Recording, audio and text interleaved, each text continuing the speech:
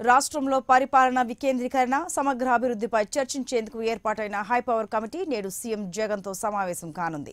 CM camp కార్యాలయంలో ఈ భేటీ జరగనుంది. రాజధాని రైతుల సమస్యలపై హైపవర్ కమిటీ సభ్యులు సీఎంతో చర్చించనున్నారు. ఇప్పటికే జీఎన్ రావు బీసీజీ నివేదికలను హైపవర్ కమిటీ పరిశీలించింది. మూడు సార్లు సమావేశమైన కమిటీ సభ్యులు రెండు నివేదికలపై విస్తృతంగా చర్చలు జరిపారు. ఈ నేపథ్యంలోనే చివరిసారిగా సీఎం జగన్తో ఈ రోజు హైపవర్ కమిటీ భేటీ కానుంది. మరోవైపు పరిపాలన వికేంద్రీకరణపై ఈ నెల ఇరవైన ఏపీ అసెంబ్లీలో విస్తృతంగా చర్చ జరిగే అవకాశం ఉంది.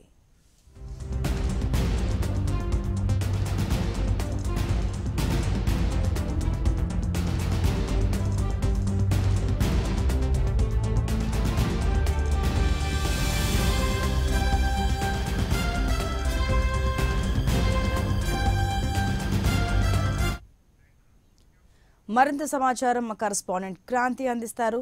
క్రాంతి హై పవర్ కమిటీ ఈ రోజు సీఎం జగన్తో భేటీ కానుందని తెలుస్తోంది. భేటీకి సంబంధించిన వివరాలేంటి? సంతోష్ని ఈ రోజు హైపర్ కమిటీ సీఎం జగన్మోహన్ రెడ్డితో భేటీ కానుంది సుమారు పదిన్నర ఆ, టైంలో సీఎం జగన్మోహన్ రెడ్డి క్యాంప్ కార్యాలయంలో సీఎం జగన్ కలిసి హైపర్ కమిటీకి సంబంధించిన నివేదికని సీఎం కి ఉన్నారు అయితే గత గతంలో రాజధానికి సంబంధించి వికేంద్రీకరణకి ఏదైతే ప్రభుత్వం ప్రకటించిందో దానికి సంబంధించి జిఎన్ రావు కమిటీ అదేవిధంగా భూషణ్ కమిటీకి సంబంధించిన రెండు రిపోర్టులని కూడా ఇటు హైపర్ కమిటీకి సంబంధించి అధ్యయనం చేయడానికి ఇచ్చారు. ఆ, హైపర్ కమిటీని అయితే ఏర్పాటు చేయడం జరిగింది. హైపర్ కమిటీలో పది మెంబర్ పది మంది సభ్యులతో హైపర్ కమిటీని ఏర్పాటు చేశారు. అయితే హైపర్ కమిటీ ఇప్పటికే మూడు సార్లు భేటీ అయ్యి దానికి సంబంధించిన రెండు రిపోర్ట్లు జిఎన్ రావు కంపెనీతో పాటు బోసం రిపోర్టులకు సంబంధించిన ఆ, క్షుణ్ణంగా పరిశీలించి ఒక నివేదికని రెండింటిని కలిపి ఒక నివేదికను కూడా హైపర్ కమిటీ తయారు చేయడం జరిగింది. అయితే దానికి సంబంధించి ఈ రోజు అసలు ఆ వికేంద్రీకరణకి ఎందుకు మొగ్గు చూపింది ప్రభుత్వం?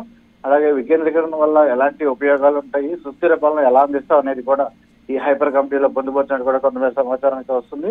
అయితే మొత్తంగా ఈ రోజు హైపర్ కమిటీ ఆ, నివేదికను సీఎం జగన్మోహన్ రెడ్డికి ఉన్నారు అనంతరం ఏదైతే సీఎం జగన్మోహన్ రెడ్డికి ఇచ్చిన అనంతరం కూడా హైపర్ కమిటీ ఇచ్చిన రిపోర్ట్ని రేపు కేబినెట్ ఉంది. కేబినెట్లో కేబినెట్ ముందు పెట్టి దాన్ని కేబినెట్లో ఆమోదం పొందిన అనంతరం కూడా ఇరవై తారీఖు అసెంబ్లీలో కూడా హైపర్ కమిటీ అంటే నివేదికను పెట్టి క్రాంతి ఇప్పటికే ఈ కమిటీ మూడు సార్లు సీఎంతో భేటీ అయింది అంటే ఇది చివరి భేటీ అంటున్నారు. అలాగే కేబినెట్ తర్వాత ఇరవయో తారీఖున అసెంబ్లీలో చర్చ జరిగే అవకాశం ఉందని అంటున్నారు. మొత్తంగా చూస్తే ముప్పై రోజుల నుంచి దాదాపు నెల రోజుల నుంచి రాజధానిలో రైతులు అమరావతి ఆ ప్రాంతంలో ఆందోళన చేస్తూ ఉన్నారు.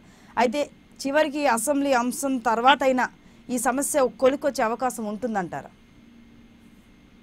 ఖచ్చితంగా సంతోషం ఎందుకంటే అసెంబ్లీ వేదికగానే ప్రభుత్వం ఏదైతే నిర్ణయం తీసుకుందో రాజధాని వికేంద్రీకరణకు సంబంధించి ఖచ్చితంగా అసెంబ్లీ వేదికగానే హైపర్ కమిటీ ద్వారా ఒక ఎందుకు ఈ నిర్ణయం తీసుకోవాల్సి వచ్చింది? ఈ నిర్ణయం తీసుకోవడం వల్ల ఎలాంటి ఉపయోగం ఉంటుంది? రాష్ట్రంలో ఎలా పరిపాలన సాగుతుంది? అదేవిధంగా అన్ని ప్రాంతాలు ఏ విధంగా అభివృద్ధి చెందుతాయి?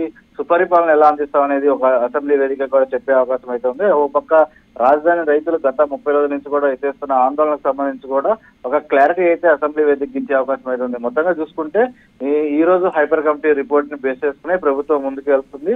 అసెంబ్లీ ఈ రేపు కేబినెట్లో ఆమోదం పొందిన తర్వాత అసెంబ్లీలో హైపర్ కమిటీకి సంబంధించిన నివేదికని ప్రవేశపెట్టి ఆ, వేదిక నివేదిక చర్చ చర్చ జరిపి అనంతరం కూడా దాన్ని ఆమోదింపజేసి ఖచ్చితంగా వికేంద్రీకరణ వికేంద్రీకరణ ద్వారా- ద్వారానే మేము ముందుకు అడుగు వ్యూహాత్మకంగా వైసీపీ ప్రభుత్వం ముందుకు వేస్తుందని చెప్పుకోవచ్చు. సంతోషం. Right Kranthi thanks for the details